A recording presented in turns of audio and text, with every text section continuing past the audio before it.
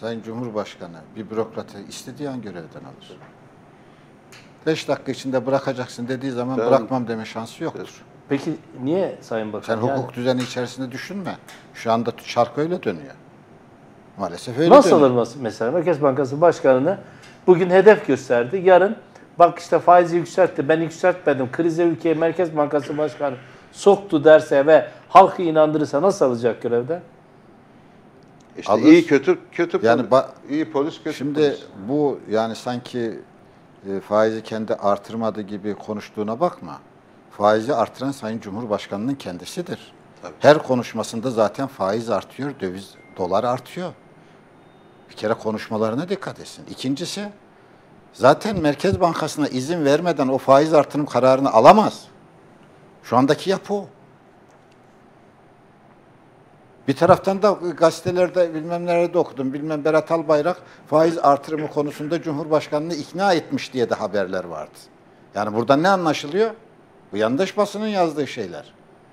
Yani Cumhurbaşkanı faiz artırımına icazet vermiş, Mer- Merkez Bankası kararını ondan sonra almış demektir. Ülkede enflasyon artırıyor, artıyor mu? Artıyor. Bu enflasyonu artıran, hayat pahalılığını artıran Cumhurbaşkanının kendisidir. O çünkü hükümettir. Bu ülkede faiz artıyor mu? Artıyor. Mevduat faizi yüzde 24'e çıkmış. Bilmem kredi faizleri yüzde 30-40 arasında dolaşıyor. Bu düzeye faizin çıkmasına e, yönelik e, sorumluluk kimdedir? Bu kararı alan kimdir? Veya bu ekonomiyi bu noktaya getiren kimdir? Cumhurbaşkanıdır. Ekonomi Fiyat artışında da yani faizi bir ayrı, numaralı. enflasyonu ayrı yapamazsın. bir numaralı sorumlu odur. Doların artışında da bir numaralı sorumlu. Onların izinsiz yapılması da mümkün değil gibi görünüyor zaten. Hayır mümkün değil. Fiilen hukuku bilmem ben. Hukuk tarafını sayın Paşacı söyledi. Fiilen fiilen hiçbir kurumun Cumhurbaşkanlığının söylediğini yapmama şansı yoktur. İhtimali yoktur. Sen yapma diyecek de o kurumda Cumhurbaşkanlığı yapma dediğini yapacak. Tü- şu anda Türkiye'de öyle bir durum yok. Onun için diyorum ki bak ısrarla bunun anlaşılması lazım. Bu ekonomik krizin sorumlusu Cumhurbaşkanıdır.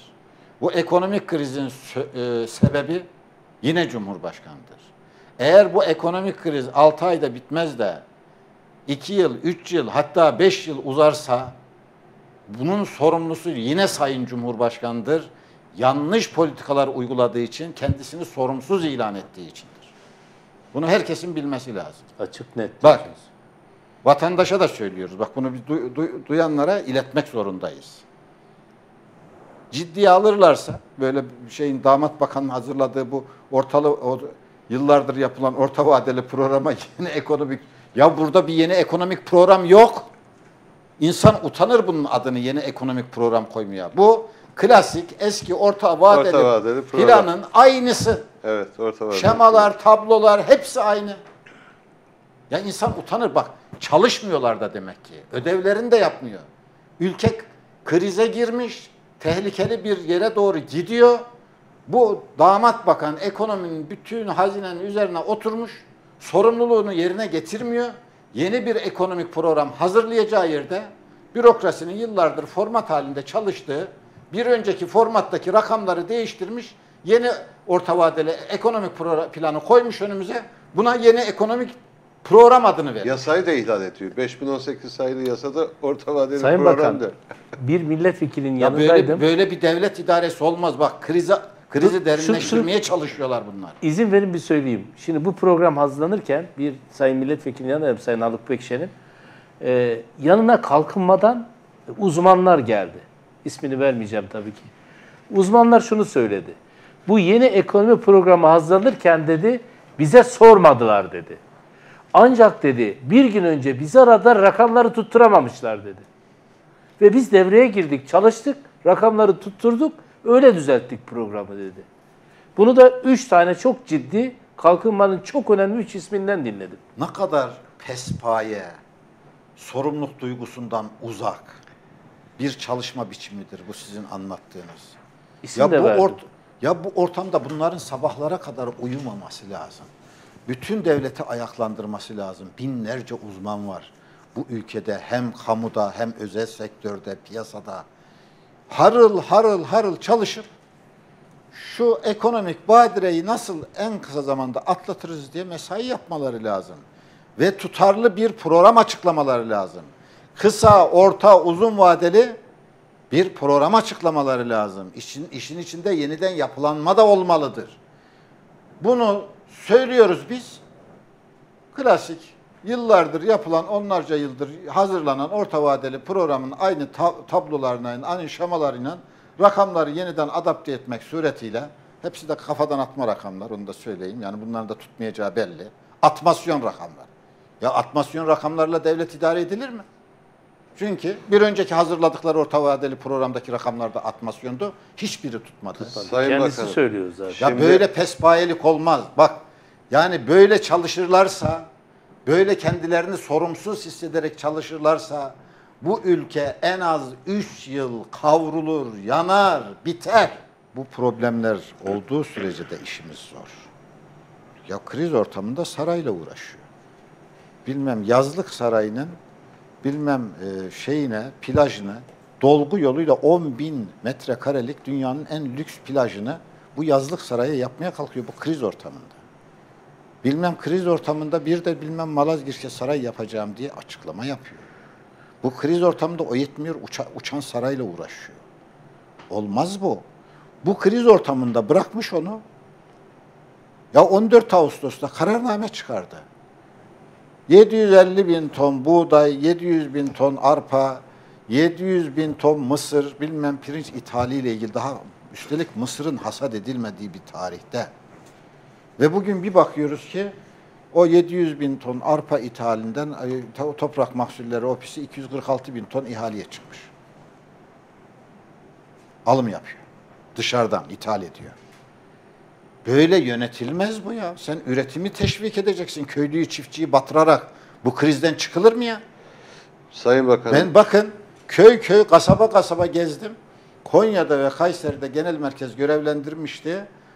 Odaları, esnaf odalarını, ticaret odalarını, sanayi odalarını, bilmem diğer odaları falan filan gezdik dolaştık. Ya perişan, her taraf perişan. Çiftçiyle gidiyorsun, görüşüyorsun, ziraat odasıyla konuşuyorsun. Ortaya çıkan tablo şu. Yem fiyatları fırlamış. İkiye katlanmış.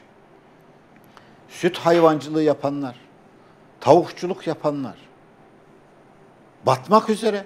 Diyor ki çiftçi, bu yem fiyatlarıyla süt kurtarmıyor. Yani besi yem yemi. hayvan şeylerini bu bu besiciler aynı sıkıntıda.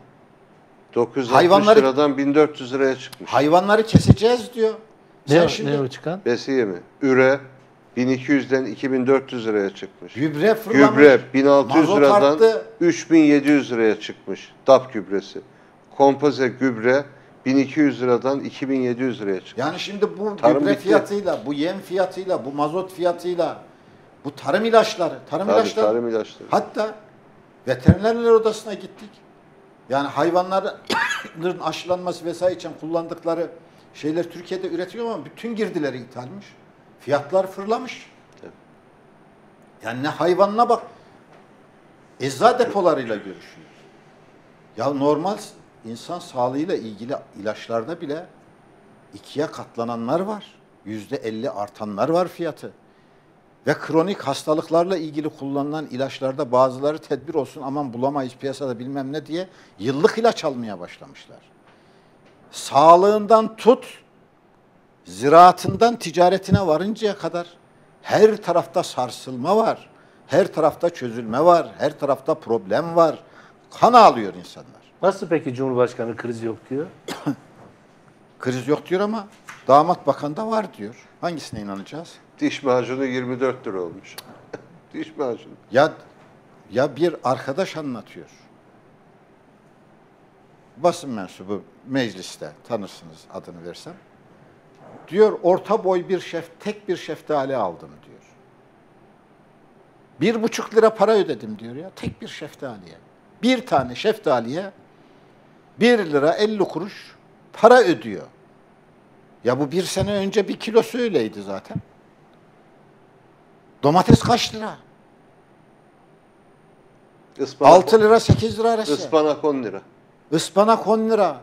Bunlar 3-4 liraya alınan şeyler, meyveler, sebzeler ya. Piyasa his- hisset, hissediyor, hissetmiyor diye bir şey söyledin. Piyasa tutuşmaya başladı. O, o yangını ucundan görüyor. İnsanlar kendilerine gelmesinden endişe ediyor. Gezdik bütün odaları. Ağızlarını bıçak açmıyor.